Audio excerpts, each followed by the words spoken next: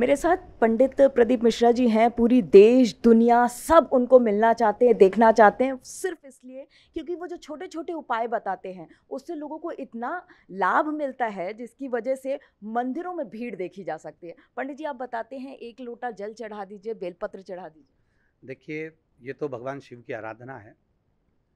व्यक्ति के जीवन में बहुत सारी दुविधाएँ, बहुत सारे दुख तकलीफ़ होती हैं। अपने दिल की बात कहने का एक स्थान मिल गया लोगों को, शंकर जी का मंदिर शिवालय। अगर वो जाएँगे, शिव जी को एक लोटा जल चढ़ाएँगे और एक बेलपत्र चढ़ाएँगे तो अपने मन की बात कह कर आएँगे। और ये निश्चित है, जब अपने हृदय की बात अपन देवादित्य महादेव से कहते हैं तो बाबा सुनता है।